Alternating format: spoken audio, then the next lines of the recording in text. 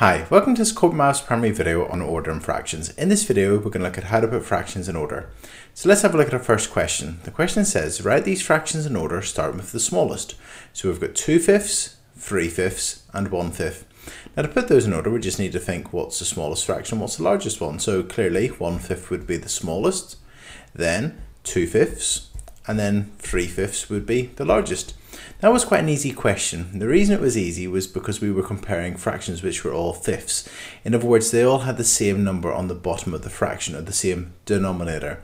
Now what we're going to do is we're going to look at what a typical question would look like in an exam where the, they wouldn't all have necessarily the same denominator, or the same number on the bottom. They will have different numbers. So here's another question. It says, write these fractions in order, starting with the smallest.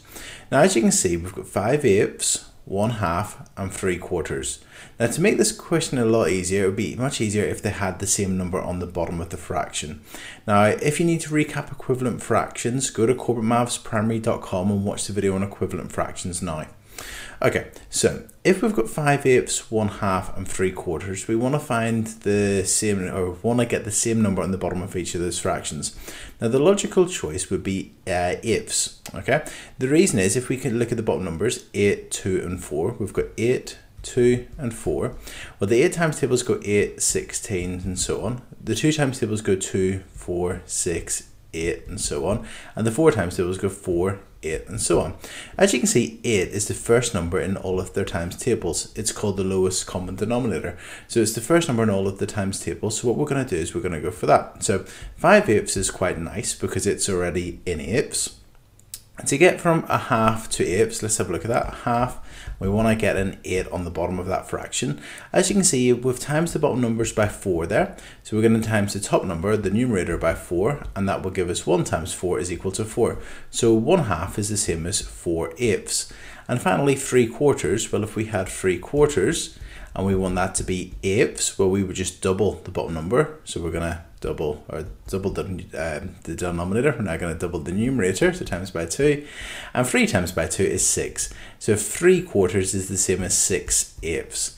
And now we can put them in order quite easily. Well, it's going to be 4 eighths. Um, I'm going to write the 1 half that we started with. Okay, so 4 eighths would be the smallest, which is a half. The next smallest would be our 5 eighths that one. And then our biggest one is the 6 eighths, but that's 3 quarters, so I'm going to write that as 3 quarters.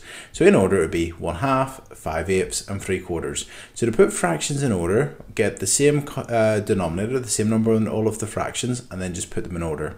Okay, let's have a look at another one.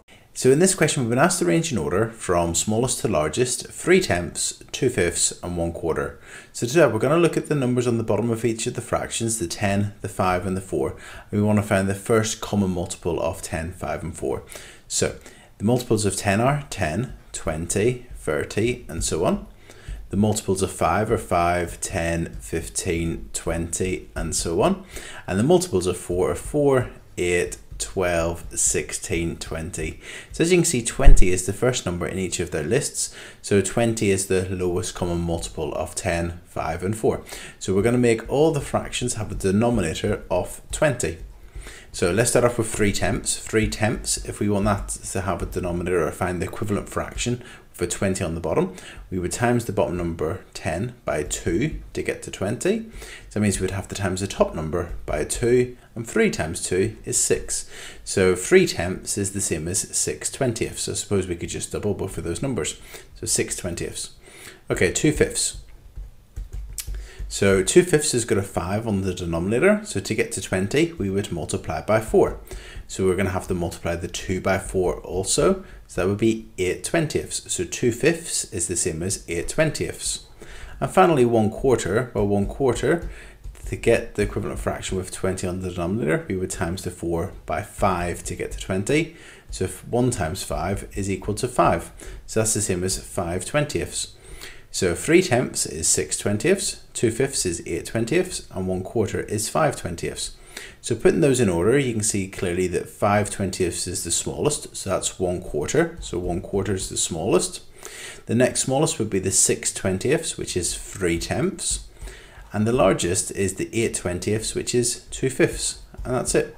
So to put fractions in order, just find the equivalent fractions which have the same uh, denominator for each of the numbers and then just put them in order from smallest to largest or largest to smallest.